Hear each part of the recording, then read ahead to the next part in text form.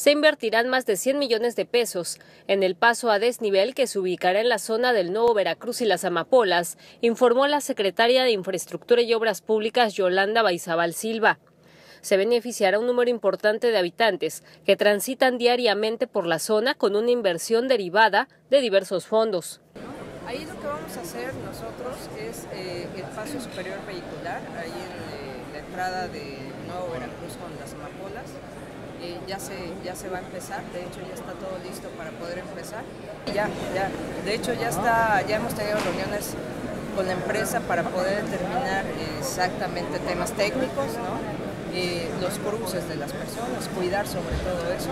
¿Cuánto va a durar la obra y exactamente 180 días, si mal no recuerdo, eh, sí son 180 días de esa y eh, va a ser un cruce superior para que la gente pues siga cruzando a nivel de piso.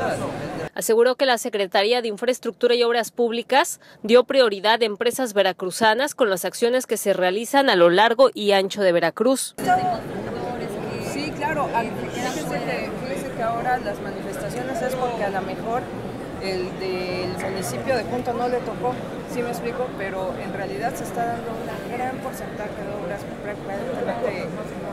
no sé, más del 80% seguramente a obras, a empresas veracruzanas. Autoridades estatales y municipales pusieron en marcha las obras de construcción del paso a desnivel en la zona del Nuevo Veracruz y las Amapolas en la ciudad porteña. Boga Reyes en la cámara para Imagen del Golfo, Laura Morales.